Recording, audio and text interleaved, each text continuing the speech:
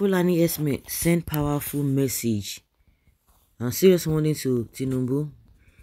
Hmm. Everybody is against Tinubu, left, right, and center. But you think uh, Tinubu is bothered, mm, but there's something that is going to bother him. We know that Fulani they have their own on one side, but the Nigerian people, especially those who voted for Tinubu, are crying of hunger that he has made life miserable for them. Majority of them cannot even, they can't even drive now. They will keep their car at home. They keep their cars at home and be hopping on uh, uh, public transport car owners you know when you say somebody is a car owner you know uh, what it means but what we are talking now is uh, this message being sent and the serious warning to Tinubu by this uh, Fulani herdsmen. What do they have to say? Let's know what they are talking about. The chairman of Miyetti Allah Kautal Hore in the North Central region, Alhaji Gidado Idris Bebeji, has issued a plea to the federal government regarding the detention of their national president, Dr. Abdullahi Budejo Bello. EST, uh, DSS told us that uh, they don't know what Nigerians are talking about. That uh, this man is not in their detention. They don't they don't have him. So it's been back and forth, back and forth. So why? So the man is still missing. Okay. Oh. Well, the detention of their national president, Dr. Bodejo, by security authorities in Abuja, expressing concern over the situation. Bebeji emphasized the need for urgent intervention to secure Bodejo's plea, uh, release, highlighting his role as the primary provider for his family. Wow. Wow. In a statement, Bebeji appealed to President Bola Tinubu to use his influence to facilitate Bodejo's release, stressing the importance of reuniting with his family and allowing him to resume his responsibilities. The lack of uh, communicating or communication and transparency regarding Bodejo's whereabouts has added to the distress faced by both the association and his family. Bebeji also addressed the allegations surrounding Bodejo's arrest, particularly the accusation of operating an illegal vigilante group. He clarified that the said organization was properly registered with relevant authorities adhering to all necessary procedures and supported by appropriate documentation. According, according to Bebeji, the vigilante group was established with the aim of promoting peace and enhancing security within the state. The uncertainty surrounding Bodejo's detention and the nature of the allegations against him have, have caused anxiety within the Miyetti Allah Kautal Hore community and concerns about due process and fair. Bebeji urged for a swift resolution to the situation, emphasizing the importance of upholding the rule of law and protecting the rights of individuals involved. In conclusion, Bebeji reiterated the call for government intervention to address Bodejo's detention and ensure a just and transparent process moving forward. He expressed hope for a speedy resolution that would alleviate the distress faced by both Bodejo's family and the wider association. The message conveyed by Alhaji Gidado Idris Bebeji, the chairman of Miyetti Allah Kautal in the North Central region, holds significant importance due to its appeal for justice, transparency, and respect for human rights. Bebeji's plea highlights the crucial role of the federal government in ensuring the fair treatment of individuals who, such as Dr. Abdullahi Bello Bodejo, who are detained by security authorities. by advocating for Bodejo's release and addressing the allegations against him, Bebeji underscores the need for due process and accountability within the legal system.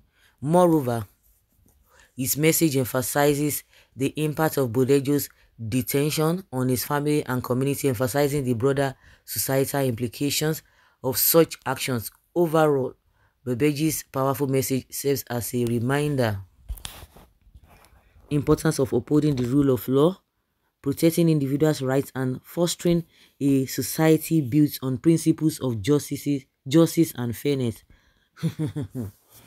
you know, when the guy was talking about uh, the family of uh, Bodejo and the, uh, the association, and again calling on Tinubu to intervene, to use his office to intervene. What has uh, Bodejo done? Because uh, from the fillers we have got, we've gotten, like uh, the accusation was that he went to go and organize uh, illegal vigilantes. But uh, the group is telling us that uh, they followed due process, everything was followed up. So, like in Nigeria, whatever, the more you look, the less you see. On the government side, they say they don't know what people are talking about, that the man, they didn't, he's not in their custody, but not that they did not arrest him or they didn't invite him, but he said, they said he's not in their custody. But the association, the Miyetti Allah said, this man has been being with them. Okay, that's another thing. One thing again is that these people, the reason why I was laughing, this same set of people are talking about rule of law. And what were the things that uh, Nnamdi Kanu was accused of? Because I remember this uh, Northerners, Mietiala, whatever you want, want to call them, they were telling Buhari that Buhari must not release Nnamdi Kanu. He must not release Nnamdi Kanu. The reason why they are still holding Nnamdi Kanu was that ESN was established, this and that, IPOB and all of those uh, story.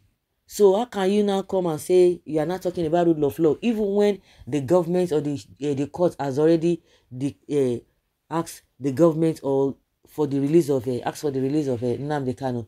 These guys threatening Tinubu uh, Buhari that Buhari must not release Nnamdi Kanu. So these same people are not talking about a rule of law. what an irony. The same set of people are telling us about his family. So Nnamdi Kanu does not have family. No, he does not have his own uh, people as well. Like what they say, what is good for the goose is good for the gander. Some people don't want things to happen to them. But when it happens to other people, they say kill him, nail him, crucify him, and all of that. Both the government, oh, both the Fulani men, but all of them, the Nigeria setting is just nonsense and rubbish.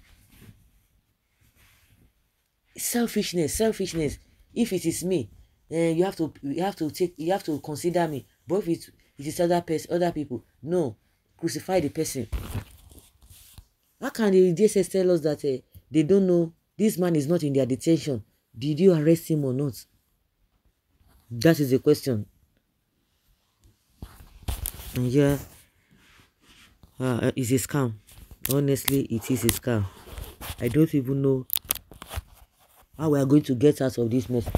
One thing I have uh, realized again with all these things happening, uh, people complaining here and there, insecurity, economic hardship, and all of you, all of that. In fact, uh, I think uh, these uh, politicians they love it when things are getting worse like this. Things are getting bad. It's like they love it because I see no reason why the government, the, the past government experienced this kind of it. People were complaining, and the same people who were not in power then, they are not in power. They were complaining about other people who were in government and the situation of the country. Now, they are bringing the the receipts of uh, Tinubu, all the tweets he made talking about uh, there was no government uh, during the time of uh, Goodluck Jonathan. Oh, the Christians are being man, uh, you know, are being maltreated, and all of those stories. Now they are there. It's like they are, they they derive pleasure in all this uh, hardship. Let people be talking about them. Oh, they will be calling their name. Oh, Buhari did. Uh, Goodluck Jonathan did this. Uh, This like they love it. it. That is what I'm even looking for because you can't be you can't continue doing one thing over and over again and you expect different results. I don't understand. This like they love it. These politicians they love it. They love it. We complain the same thing over and over again. There are prof uh, uh, solutions that have been profiled. These are the things that needed to be done. They won't do it. They themselves before they came to power they will profile solutions. Now they are there. Tinubu has been crying for rest, uh, restructuring you see talk he say now restructuring is not his uh, business again. That uh, it's not it's not yet time for restructuring. So i'm just trying to even digress but the warning that uh, this fulani men or send a serious warning that is sent to tinubu whether he's going to take it or not is a different thing altogether. So guys let's hear your opinion and have your take on this. Thank you